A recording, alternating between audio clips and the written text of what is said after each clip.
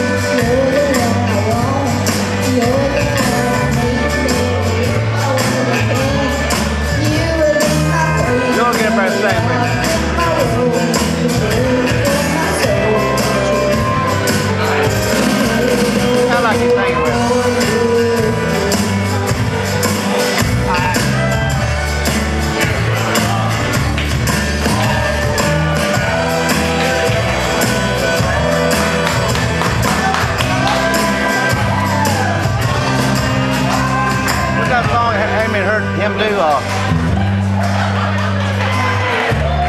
it was on Grease.